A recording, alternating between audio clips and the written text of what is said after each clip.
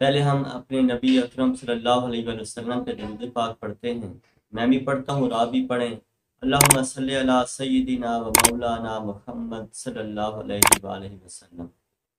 आज जिस मौजू के ऊपर हमने गुफ्तगू करनी है, वो है दांत का दर्द, जिसे वजल असनान भी कहा जाता है कि ये दांत का दर्द क्यों पैदा होता है, इसके इसबाब क्या होती हैं, इसके इलामात क्या होती हैं, इस बारे में आज हम गुफ्तु करेंगे। दांतों के अंदर कहीं जब कीड़ा लग जाता है या गर्म और सोजिश हो जाती है या पानी गर्म और सर्द लगना शुरू हो जाता है तो ये दर्द की कैफियत पैदा होती है। तो इसमें ये होता है कि ये दांतों का जो दर्द है, ये दौरा के साथ, दौरा के साथ यानी आता है, ये दौर लगाता है। इसमें ये होता है कि दर्द एक दफ़ा आया है आधे घंटे तक हो सकता है दर्द कायम रहे। लेकिन उसके बाद अगर आपने पेन किलर की दवाई ले ली है या वैसे कोई गर्म पानी के साथ कुलियाँ कर ली हैं तो उम्मीद है आपको दर्द में फाका हो जाए तो ये आधे घंटे या घंटे के बाद दोबारा फिर ये दौरा कर सकता है। यानी ये इसकी इसबाब होते हैं, तारीफ़ होती है इसकी। इसके इसबाब के हवाले से क्या है कि इसमें किस वजह से ये दांत का दर्द होता है?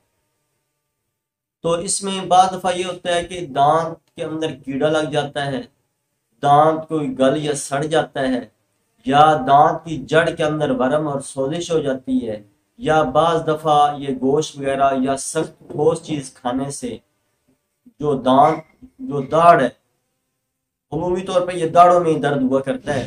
तो दाढ़ के अंदर जो है कोई रेशा फंस जाता है तो ये दर्द पैदा हुआ करता है।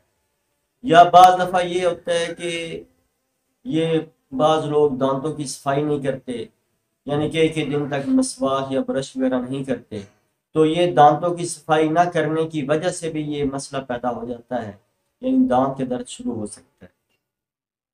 बाद दफ़ा ये होता है कि दांतों के अंदर तुरशी पैदा हो जाती है यानी ज़्यादा लोग के इकट्ठी चीज़ें खाने के आदि होते हैं तो वो दांत खट्टे हो जाते हैं। उन दांतों के खट्टे होने की वजह से भी ये दांतों के अंदर दर्द पैदा हो सकता है।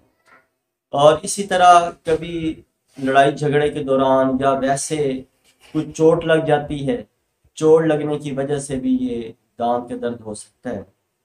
तो इसमें ये इसबाब थे जो मैंने आपके सामने ज़िक्र किए हैं। अब इलामत इसकी जान लेते हैं कि इसकी इलामत क्या होती हैं। इलामात इसकी ये होती हैं कि जो मस्कूरा दाढ़ या दांत जो है, वहाँ पे वर्म और सोजिश होती है। वर्म और सोजिश होने की वजह से वो जगह दर्द कर रही होती है। असल में वो साइडों से जो मसूड़ा है, वहाँ पे वर्म और सोजिश हो जाती है। या जड़ जो है, जड़ के अंदर कीड़ा होता है, वो कीड़ा की वजह से अंदर क्योंकि गल चुकी होती है तो इस वजह से भी ये दर्द पैदा होता है।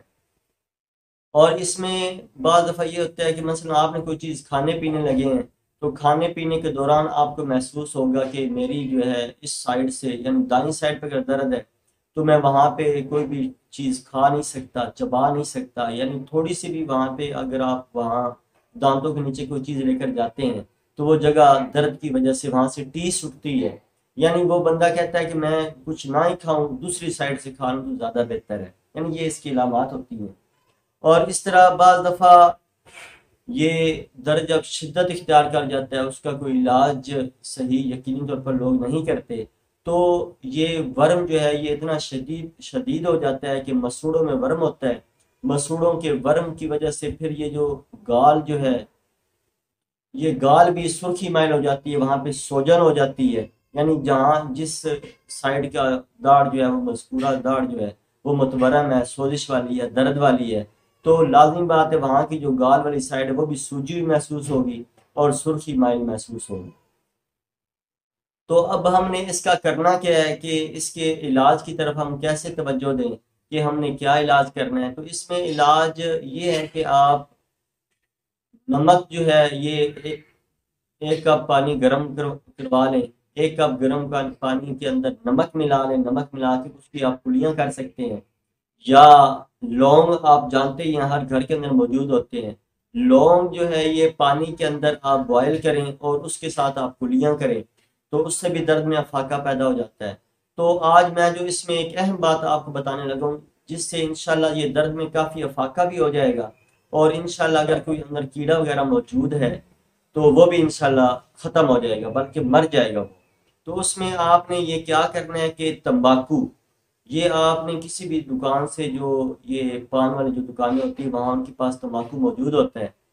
तो वहाँ से आपने थोड़ा सा तम्बाकू लेना है। कम अज़ कम आप दो तीन ग्राम तम्बाकू लें एक पानी एक कप गर्म पानी का लें। उसके अंदर आप तम, ये तम्बाकू थोड़ा सा एक दो ग्राम उसमें डाल दें। और अगर आप उसको थोड़ा सा बॉयल करना चाहते हैं तो बेशक बॉयल भी कर लें। आपने उस पानी के साथ कुलियाँ करनी है।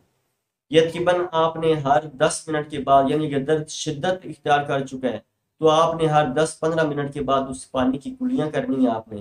तो इन आप देखेंगे देखेंगे कि जल्द अज जल्द आपका जो दर्द जो है वो दूर हो, जाएगा और आपका जो आप खाने पीने से आप बेजार है। तो इन आप अच्छे तरीके से खाने पीने लग जाएँगे आपके दांतों को जो दर्द है वो इंशाल्लाह दूर हो जाएगा। अल्लाह ताला हमारा मेरा और आपका हामी नासिर हो।